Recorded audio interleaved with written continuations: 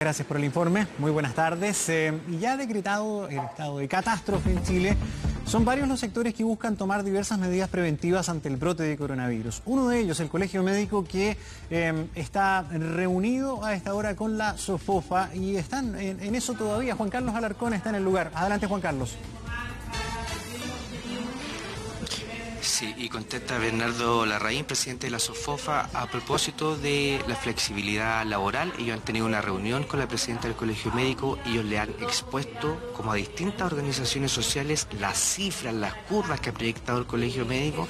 Y a propósito... La recomendación básicamente es utilizar todos los instrumentos disponibles que tiene el marco laboral vigente de flexibilidad tanto espacial como temporal. Espacial me refiero a trabajo a distancia, temporal distintos tipos de, jornada. Existe un instrumento que se llaman los pactos de adaptabilidad, que lo hemos usado poco.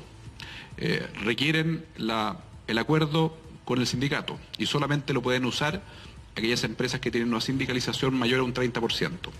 Entonces el llamado es que tanto sindicatos como empresas seamos proactivos en llegar a esos acuerdos de pactos de adaptabilidad, porque una vez que el sindicato acuerda con la empresa el acuerdo marco, luego la empresa puede eh, pactar con cada individuo eh, una jornada diversa que se adapte de mejor forma a su realidad personal. ya estamos en directo para la televisión nacional, aprovechando la, coyuntura, digamos, le, quería hacer una pregunta a usted, si quiere correr el micrófono nomás, porque hoy día se decretó estado de emergencia a nivel nacional, que era una medida que ustedes como colegio venían liderando y, proponiendo hace bastante tiempo de que se radicalizaran las medidas. ¿Qué le pareció este anuncio y qué nos va a permitir a nosotros como sistema en general para poder abordar esta contingencia? Saludo el anuncio del presidente. Obviamente comprendo la complejidad del momento que tiene que ser gobernar en momentos como este. Yo lo he señalado. Como colegio médico hemos hecho un llamado a la unidad y a respaldar al gobierno en medidas que son todas complejas. Pero también hemos pedido que estas se hagan con premura y no cuando la sobrecarga asistencial nos produzca peores resultados sanitarios. Tal como decía Bernardo, aplanar la curva es un desafío que nos tiene que comprometer a todos y a todas. Este estado catástrofe permite tener excepción constitucional que nos permitiría también avanzar en varias medidas que ya habíamos estado dialogando, tanto eh, en, poder definir cuántos son los momentos para suspensión en algunas regiones de la libre movilidad, eventualmente fijación de precios, medidas que permitan suspender la especulación. Sabemos ya y conversábamos el día de hoy que hay supermercados y parte del retail que ya han tomado proactivamente medidas y justamente hay una fiscalización por parte de entidades de que no exista especulación de precios, pero también hacer un llamado a la ciudadanía que nos colabore en muchas de esas instancias. Nosotros esperamos conocer en el trayecto del día cuáles van a ser las medidas que van a estar incorporadas dentro de esta excepción constitucional, como también hacer un llamado al gobierno muy explícitamente a que en mi calidad de líder del Colegio Médico de Chile yo necesito explicarle a mis médicos y médicas por qué el gobierno está tomando definiciones. Y la verdad, y lamento mucho, tengo poca información oficial de número de camas, de capacidades de pacientes críticos, de eh, el rol que está jugando el comité asesor en fases fundamentales de las definiciones que ha tenido que tomar al gobierno, más que nada para poder transparentarlo a la ciudadanía y sobre todo al equipo de salud que va a ser la primera línea de enfrentamiento en este desafío sanitario. Porque viene la próxima etapa, ¿cierto? Que es cuando este virus se dispare, las proyecciones hablan de 40.000 casos en la última semana de abril, la primera de mayo, y ahí como usted ha dicho en días anteriores, muchas veces los profesionales de la salud tienen que optar, ¿cierto? Usted ha dicho, no, lo vamos a hacer, nosotros no vamos a optar a quién ventilamos o no, digamos. Eh, ¿qué, información más eh, le gustaría tener por parte del gobierno? ¿En qué el gobierno ha sido poco claro su juicio? Bueno, en muchas cosas. Necesitamos los argumentos de los datos, poder conocer los modelamientos matemáticos que ellos están utilizando para la toma de definiciones, así también como han sido justamente las características de los datos epidemiológicos que están, eh, están en conocimiento para todos, la capacidad diagnóstica efectiva, porque tenemos antecedentes de, de una suerte de cuello de botella en torno al diagnóstico, y también ¿Cómo podemos fortalecer el rol del comité asesor? Nosotros pedimos mucho que se conformara este equipo, se logró, pero hay recomendaciones que no están siendo seguidas y algunas de las medidas que se han tomado por el gobierno no han sido con participación de una instancia como esta, que era algo que nos daba mucha tranquilidad.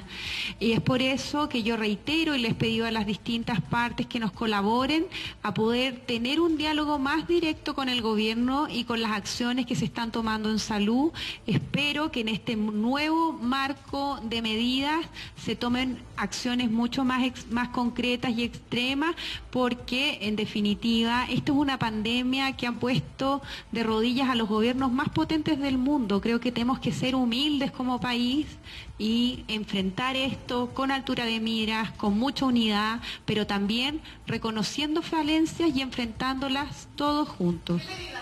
¿Qué medidas faltan, se le pregunta? Hoy día tenemos dos desafíos. Una, eh, el principal desafío es aplanar la curva. Tenemos dos formas de hacerlo. una es contener los casos que hemos diagnosticado. Para eso tenemos que conocer cada uno de los ciudadanos que tiene este virus. Para ello hemos tenido algunos problemas, tanto por el aislamiento, por la cuarentena, como también de poder diagnosticar esos casos. Es por eso que nosotros hemos planteado que hay que reordenar estos procesos para justamente usar esa estrategia. En la medida que esto no empieza a resultar, nos acercamos a tener que tomar estas medidas más radicales que permiten disminuir la circulación de virus. Nosotros, quienes administramos y atendemos directamente a los pacientes, sabemos de la fragilidad de nuestra red asistencial, estamos preocupados porque hay acciones que no se han tomado todavía, la reconversión de cama, eh, los mismos criterios diagnósticos. Hoy día ya por fin hemos cerrado la llave del ingreso de personas desde países con transmisión comunitaria. Hago un llamado a la ciudadanía a ser muy consciente y limitar su movilidad también entre regiones, porque quizá hay algunos de nosotros que no sabemos que tenemos este virus y podemos llevarla a regiones más distantes y desencadenar sin ninguna necesidad de desearlo un brote. eso puede ocurrir en el país y así creo que tenemos distintas preguntas y iniciativas que dialogar con el gobierno justamente para poder proponerlas por el mejor por la mejor desempeño del país. Nuestra comunidad médica está nerviosa, está ansiosa, quiere saber cuáles son los argumentos técnicos, pero yo no tengo la capacidad de leerle la mente al ministro de Salud. Le pido que se ponga en contacto con nosotros nos dé los argumentos de las definiciones para nosotros poder hacer las bajadas a nuestra comunidad y a todos los trabajadores de salud. La salud no se hace solo con los médicos, se hace con las enfermeras, se hace con los técnicos paramédicos, se hace con los auxiliares de aseo. Todos ellos también están muy preocupados.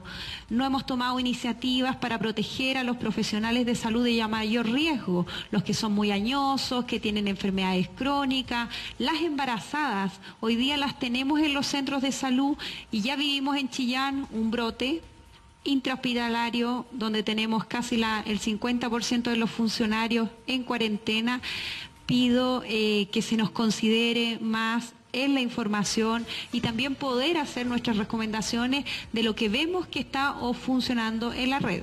Eh, Presidenta, hoy día, perdón, se ha dicho también que los informes de la cantidad de contagios se van a entregar casi con 12 horas de desfaso, es decir, nosotros vamos a conocer la cifra a las 9 de la noche del día anterior, lo que da un margen amplísimo porque esto está eh, creciendo de manera exponencial. ¿Qué le parece esa medida?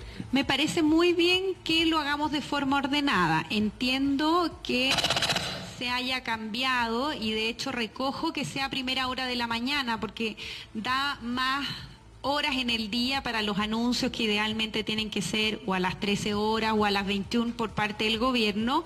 Eh, creo que hay que entender que esta fiscalización y estos datos son con los cuales el gobierno está tomando definiciones. Nosotros queremos tener acceso más directo a las características de esos datos y a también saber eh, cuánto logran representar lo que está ocurriendo realmente en el país justamente con los datos que ingresaron, los pacientes que ingresaron con este virus. Son varias las medidas, creo que podemos dialogar con el gobierno, queremos apoyar al gobierno. Si al gobierno le va mal, nos va mal a todos.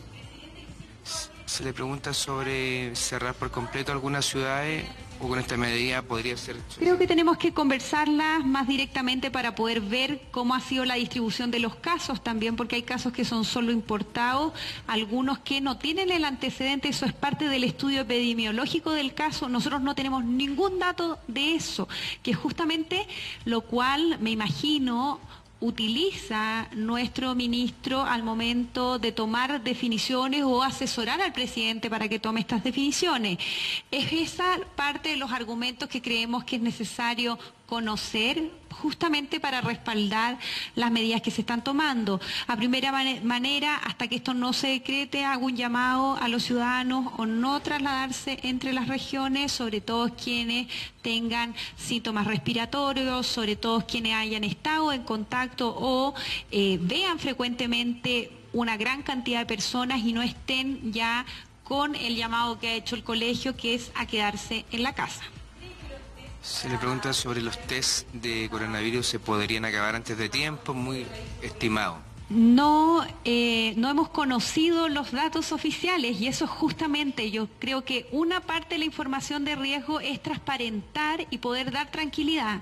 Se han acabado los kits hasta en los primeros países del mundo. Nadie va a juzgar al gobierno porque hay retraso, si es que se está planificando la contención. Sí podemos redirigir a qué pacientes tomar y a cuáles no y también reeducar a la ciudadanía así es que tiene fiebre y todos quizá no acudir a los recintos asistenciales en este momento porque nos quedan pocos kits y en un futuro, cuando lleguen las nuevas partidas o cuando tengamos más capacidad como país, efectivamente salir a testear universalmente para hacer la estrategia del gobierno que era contener los casos presentes. Hasta que eso no ocurra, yo en realidad eh, y le pido también al gobierno nos permita colaborarle en este desafío sanitario.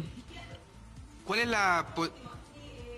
Se le pregunta si algún estimado de cifra de letalidad un cálculo matemático que ellos han proyectado porque el colegio médico... Estamos también esperando poder conocer los modelamientos que tienen ellos, cuál es el número de reproducción que se estima en Chile.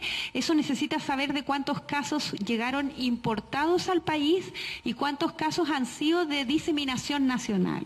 Todavía el comportamiento sigue siendo mayoritariamente dentro de los clústeres, dentro de los grupos, aunque hemos tenido personas que se han contagiado de forma aislada.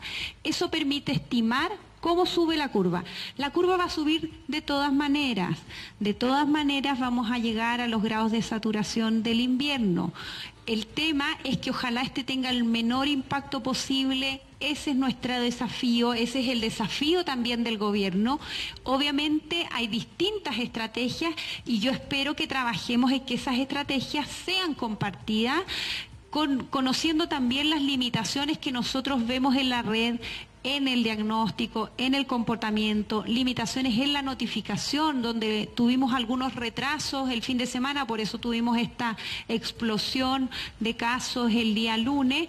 Eh, hay el ánimo de colaborar, soy muy reiterativa en eso, pero necesitábamos que el gobierno nos permita ayudar. ¿Cuál es el llamado que se, se le pregunta sobre la participación del Colegio Médico en todos los funcionarios en términos de estar en la primera línea de salud, por cierto, eh, con respecto a esta, emergencia. Se le pregunta sobre el rol que ha tenido ella, principalmente evaluada por la ciudadanía de buena forma. ¿Falta espacio para el colegio o para las medidas que se puedan tomar a futuro? Escuchemos entonces a la presidenta del Colegio Médico en conferencia de prensa en directo por Televisión Nacional de Chile.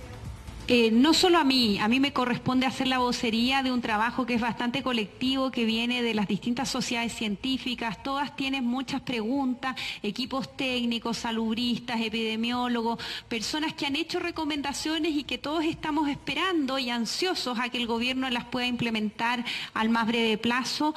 Así también creo que es relevante poder sumar al resto del equipo de salud en este desafío, porque ellos también tienen que tener un diálogo fluido con las enfermeras, los kinesiólogos, las matronas, todo el equipo de salud tiene que estar, pero absolutamente alineado con el plan que tengamos como país para poder enfrentar esta crisis.